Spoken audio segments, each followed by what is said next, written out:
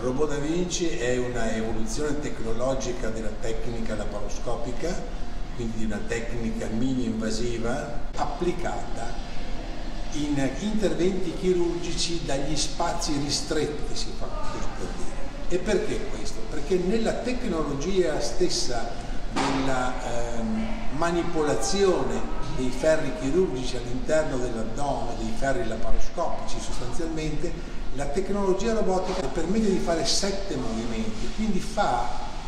maggior, più movimenti di quelli che naturalmente la mano del chirurgo su un campo operatorio di chirurgia aperta potrebbe fare. Questo permette la realizzazione in spazi stretti di eh, tecniche chirurgiche di ablazione ma soprattutto di ricostruzione delle strutture. La chirurgia robotica permette al chirurgo una posizione seduta e opera davanti a una console, manipola i ferri attraverso due joystick, ha una pedaliera come vedete nelle immagini per il controllo della coagulazione e del taglio con i bisturi elettrici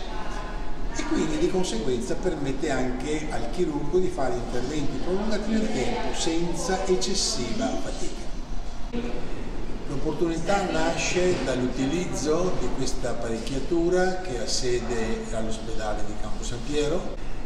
dove da molti anni è attiva una scuola di chirurgia robotica iniziata dal primario chirurgo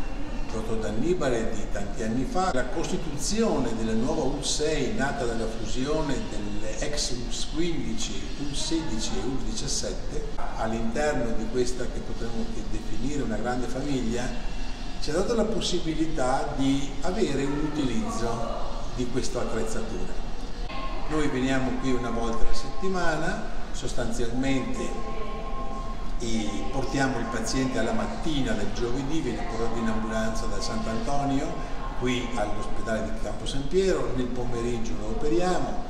alla sera viene, viene ricoverato in una stanza della terapia intensiva e alla mattina successiva viene riportato all'ospedale Sant'Antonio.